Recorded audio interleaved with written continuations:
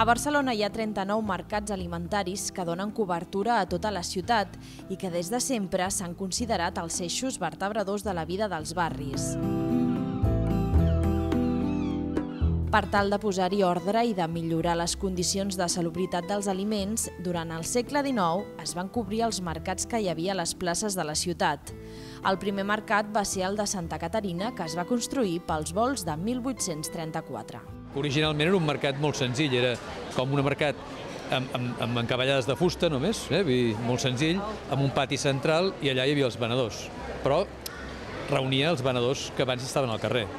Després hi ha una altra generació de mercats que comença amb el mercat del Born, que és els mercats metàl·lics, que comencen a partir de 1870 i pico. No? Ja després de la guerra hi haurà un altre model arquitectònic, que són aquests mercats més de la perifèria.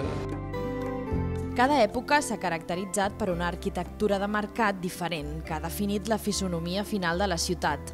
L'exposició als mercats constructors de la Barcelona contemporània mostra, a través d'un recull de 80 documents, l'evolució dels mercats des de diferents punts de vista. Els mercats a Europa han anat decaient i en canvi a Barcelona no. I a més a més avui dia s'està fent un esforç per eh, tornar-los a posar al dia i fer-los competitius perquè puguin seguir fent la seva feina, que és eh, allotjar la compra-venda. Barcelona no seria la que és si no hagués tingut mercats, tant des del punt de vista de la seva fesomia eh, urbanística com des del punt de vista del seu caràcter. Perquè cal recordar que els mercats també són les persones que els formen. Els qui hi treballen i els qui hi compren moltes vegades estableixen una relació més que comercial. Som confidents, som metges, som, som de tot una mica.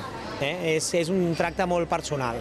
Ja et coneixen i doncs, ja tan sols dient el que vols, ja t'atenen de l'altra manera, vas a un supermercat d'aquests, un centre comercial, i és com que, ostres, ara què agafo, aquí pregunto, no hi ha ningú...